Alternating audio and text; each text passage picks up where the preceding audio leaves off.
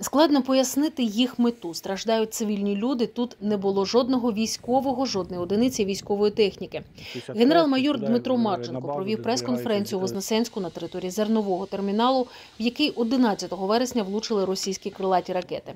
Дмитро Марченко, зокрема, розповів і про ситуацію на південному фронті. Завдяки вдалим, вдалому плануванню АК Південь е, лінія фронту була просунена на 12 кілометрів, було звільнено більше ніж 500 кілометрів нашої землі. Е, Вивільнено 13 населених пунктів. Е, Буквально за два останніх тижня було знищено більше 1800 е, військовослужбовців Російської Федерації. Було знищено два гелікоптери, два літаки. Два літаки.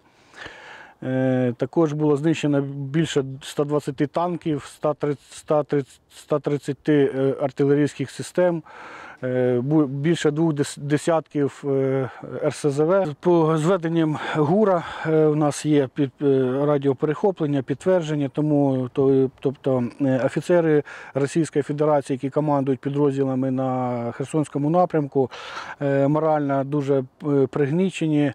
Е, Наскільки нам відомо, їм дали команду не, е, відкривати вогонь, е, вести перемовини з українськими військовими і, звільняти окуп- окуповані території.